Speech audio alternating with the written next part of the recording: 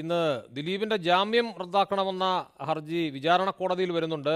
നിർഭാഗ്യകരമെന്ന് പറയട്ടെ ഇപ്പോൾ പലരും പലർക്കും പറയാൻ കഴിയും എന്തായിരിക്കും കോടതിയുടെ തീരുമാനമെന്ന് ഈ കേസിൽ പക്ഷേ പ്രോസിക്യൂഷനോട് എന്തെല്ലാമാണ് വിചാരണ കോടതി പറയുന്നത് എന്നാണ് മിക്കവാറും ഇത്തരം കേസുകൾ ഇപ്പോൾ വിചാരണ കോടതിയിൽ വരുമ്പോൾ ആളുകൾ ഉറ്റുനോക്കുന്നത്. പ്രത്യേകിച്ച് ഹൈക്കോടതി വിധി പറയാൻ വേണ്ടി ഈ കുറ്റപത്രം സമർപ്പിക്കുന്ന നീട്ടി വിധി പറയാൻ വേണ്ടി ഹർജി മാറ്റിവെച്ചിരിക്കുന്ന സാഹചര്യത്തിൽ ഇന്ന് വിചാരണ കോടതിയിൽ എന്തായിരിക്കും നടക്കുക?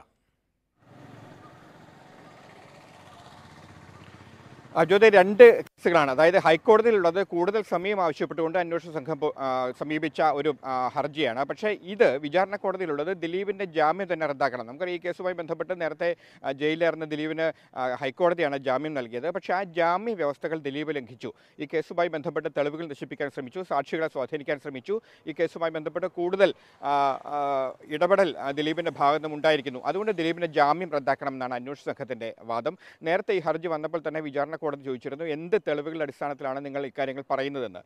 തെളിവുകൾ ഹാജരാക്കുമെന്നായിരുന്നു വിചാരണ കോടതി പ്രധാനമായി മുന്നോട്ട് വെച്ച ഏറ്റവും പ്രധാനപ്പെട്ട ആവശ്യം. അതിനുശേഷമാണ് അന്വേഷണ സംഘം ഈ ദൃശ്യങ്ങളടക്കം തന്നെ ദിലീപിന്റെ കൈവശമുണ്ട് എന്ന കോടതിയെ അറിയിച്ചത്. അതായത് ഈ മെമ്മറി കാർഡോ അല്ലെങ്കിൽ മെമ്മറി കാർഡിന്റെ പകർപ്പോ ദിലീപിന്റെ കൈവശമുണ്ട്. ഇതുമായി ബന്ധപ്പെട്ടുള്ള വ്യക്തമായ തെളിവുകൾ അനൂപിന്റെ ഫോൺ പരിശോധിച്ചപ്പോൾ ലഭിച്ചു.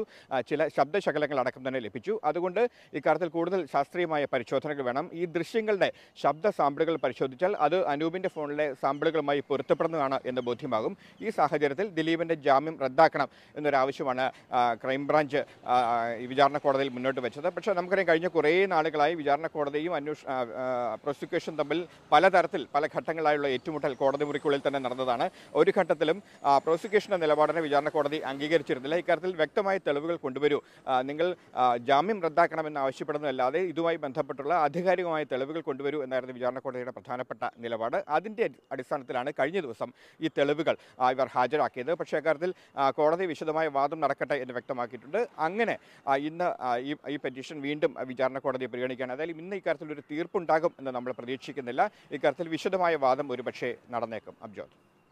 ശരി അഭിലാഷാണ് വിവരങ്ങൾ നൽകിയത്.